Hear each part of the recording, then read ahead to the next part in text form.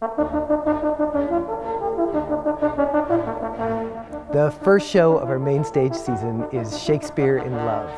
Uh, it is adapted from the Oscar winning film, and it's a fantastic comedy that celebrates the power of theater.